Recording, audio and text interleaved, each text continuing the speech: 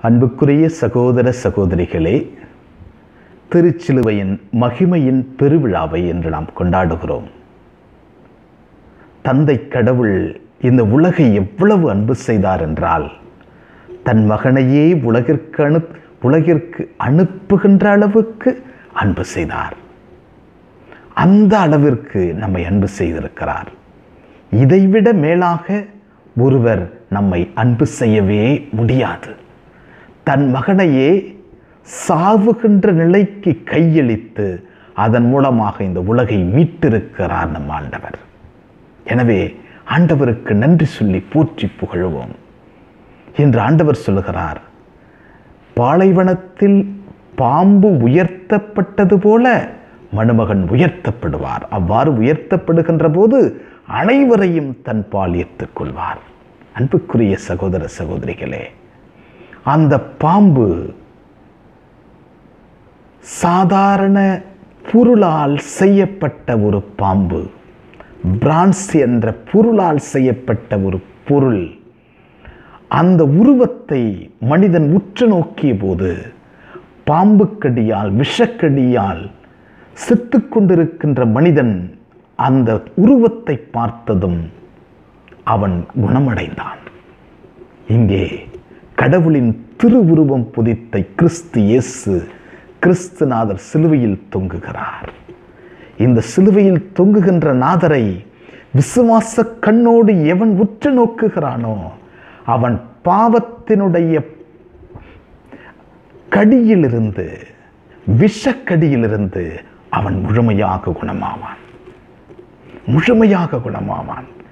ஏனென்றால் ஒவ்வொரு மனிதனும் இந்த பாவத்தினுடைய விஷக்கடியால் துன்பப்பட்டு கொண்டே இருக்கிறான். பாவத்தினுடைய விஷக்குடி ஒவ்வொரு விஷ விஷம் ஒவ்வொரு மனிதனுடைய உடலிலும் ஓடிக்கொண்டே இருக்கிறது. அந்த விஷத்தை எடுக்க வேண்டும் என்றால் கிறிஸ்துநாதரை உற்று நோக்க வேண்டும்.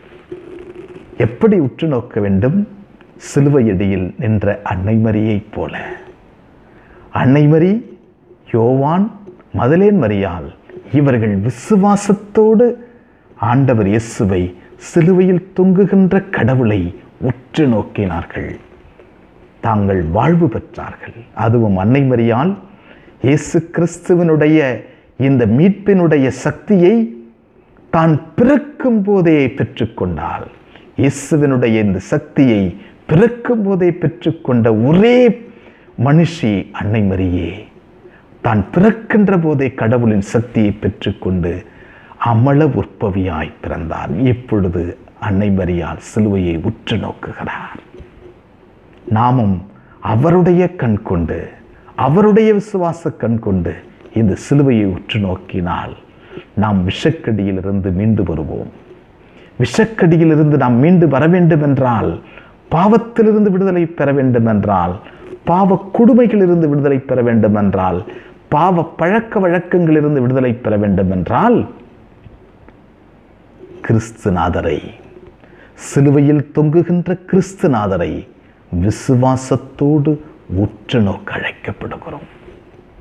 புனித புனவெஞ்சர் அவருடைய சக்தி மிகுந்த இந்த அறிவாற்றலுக்கு எங்கிருந்து சக்தி பிறக்கிறது என்று கேட்டபோது அவர் அவர்களை கூட்டி போய் ஆலயத்தில் இருந்த அந்த ஆண்டவரின் பாடுபட்ட சுருவத்தை காட்டி இதோ இங்கிருந்து தான் நான் கடவுளின் அருளை ஞானத்தை பெற்றுக்கொள்கிறேன் என்று சொன்னார்.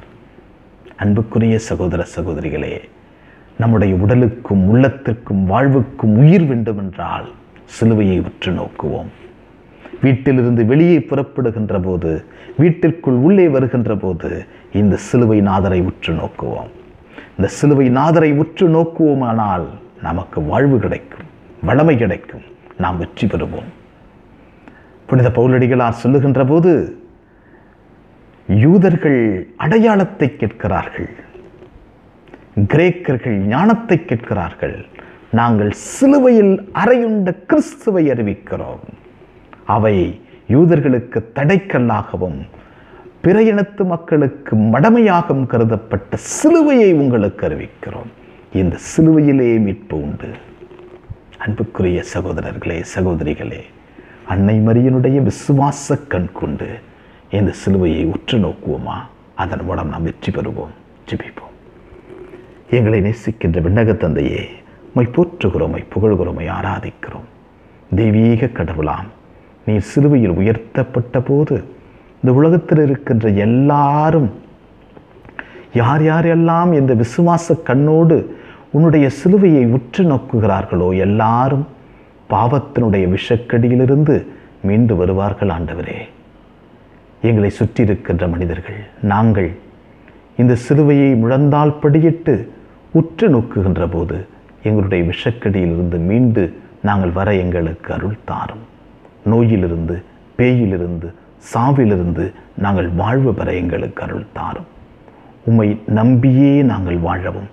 அன்னை மரியனுடைய விசுவாச கண் கொண்டு நாங்கள் உம்மை பார்க்க அதன் மூலமாக அருளை பெற்றுக்கொள்ள எங்களுக்கு வரம் தாரும் ஆண்டவரே. எப்பொழுதும் நாங்கள் சிலுவையை தடைக்கல்லாகவும் மடமையாகவும் கருதிவிடாமல் உம்முடைய சிலுவையை உற்று நோக்கினால் நாங்கள் வாழ்வு பெறுவோம் என்ற வளமையையும் சிந்தனையையும் சக்தியையும் விசுவாசத்தையும் எங்களுக்கு தொடர்ந்து தாரும் ஆண்டவரே. அன்னை மரியே எங்கள் அன்பு தாயே திருமகனிடம் இடைவிடாது எங்களுக்காக பரிந்து பேசும். ஆமேன்.